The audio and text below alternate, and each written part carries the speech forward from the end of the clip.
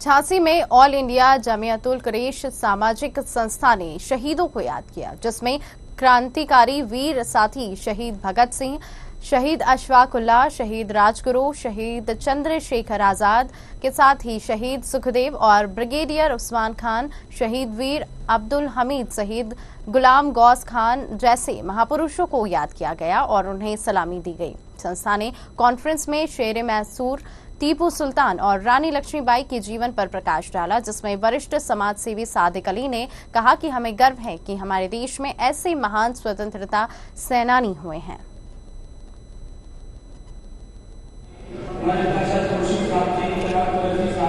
आज जो हमारे यहाँ के जितने भी शहीद हुए हैं, उनको नमन करने के लिए यहाँ कलाम साहब ने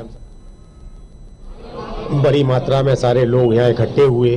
और उन सबके वो श्रद्धा सुमन अर्पित किए हैं। साथ ही ये भी प्रतिज्ञा ली है कि जो जो कार्य उन्होंने करने का प्रयास किया था देश प्रेम का, जो देश प्रेम पे मिटने की उन्होंने तपस्या की थी, उसको कहीं ना कहीं हम लोग भी आत्मसार करेंगे।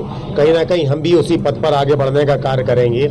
ये जो वर्तमान के निकृष्ट लोग, जो बिखराव की राजनीति कर रहे हैं, उससे दूर हटकर हम एक होने का कार्य करेंगे। हिंदू, मुस्लिम, सिख, ईसाई, भारत की पहचान थी। इस पहचान को बनाने के लिए हम कोई कोर कसर नहीं छोड़ेंगे।